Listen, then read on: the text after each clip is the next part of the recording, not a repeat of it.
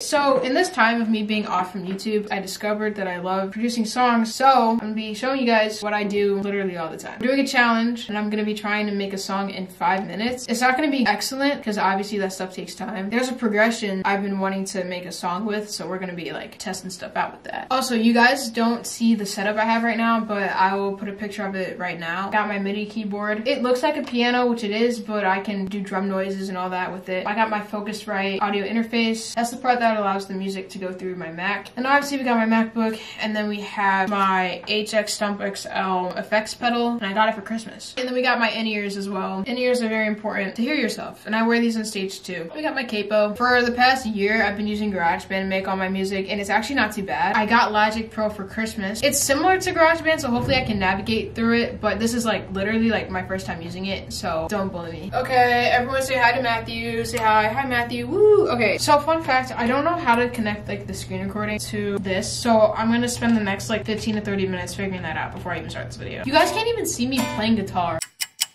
Okay, so it's literally been an hour. I'm kind of scared. I'm not even gonna lie to you guys. I've never made a song in five minutes before. I'm not gonna finish it. It'll be like a little intro. Okay, three, two, one, go.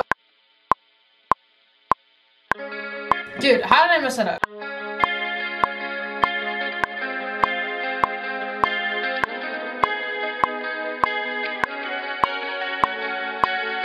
Like it because I sped up a lot, but I don't have like I don't have time to redo stuff, so I'm just gonna keep moving on. And for the drums, I'm thinking like a boom, boom, boom, boom like a swing type beat. Like, sounds horrible. So we're gonna do, we're gonna add a swing to this.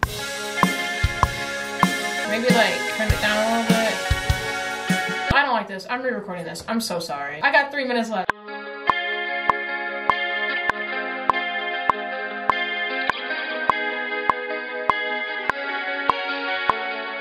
Sounds okay. I'm just gonna add a bass line.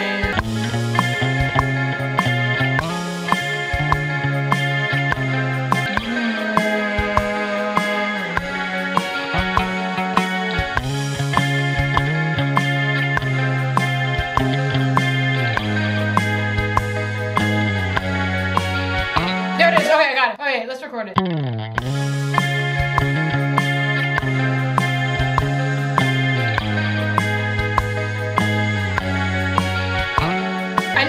I have a minute left. I always have to add surf stereo. It's my favorite type of sound to add.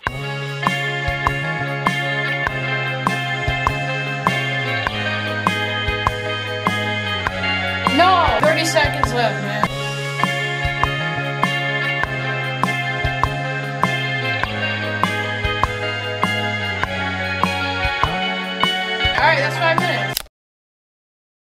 That's not like my best, best, best work because I did that rushed and under pressure. But I'm gonna go over everything so you guys kind of understand. This part right here, this is like the main lead line.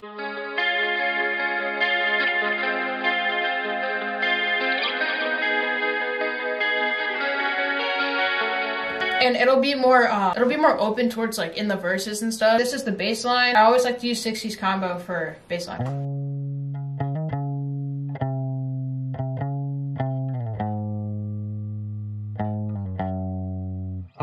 I also like to have my bass panned in the middle. I have my main riff and my bass line in the middle. I like making summer type songs, so Surf and Stereo is always one preset that I use all the time in like all of my songs.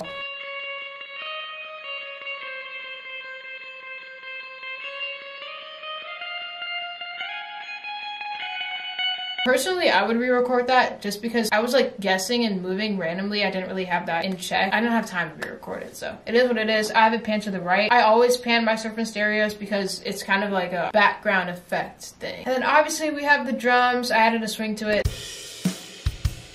And you have the final product, which is this.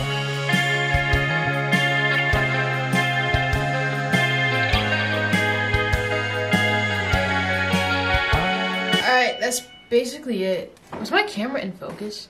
I don't know if the camera is in focus. Dude, I don't even know what's happening. Okay, but yeah, that's what I like doing all the time. That's a very rushed version of it though. Usually I spend days on my songs. Okay guys, so it's really bothering me that I don't have a pad on this. And a pad is basically kind of like, I don't know, you'll see. So basically, I'm using my MIDI keyboard now to do this stuff. Right now it's set as a piano, so we're gonna change it to like, I like using the warm synth pad.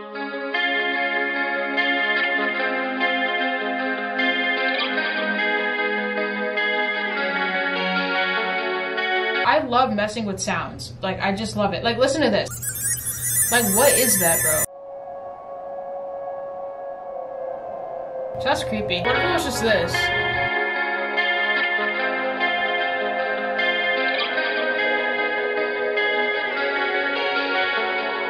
If you guys want a part two where I figure out the whole song, just let me know. Because I'm tired and I need to go to bed. So, yeah.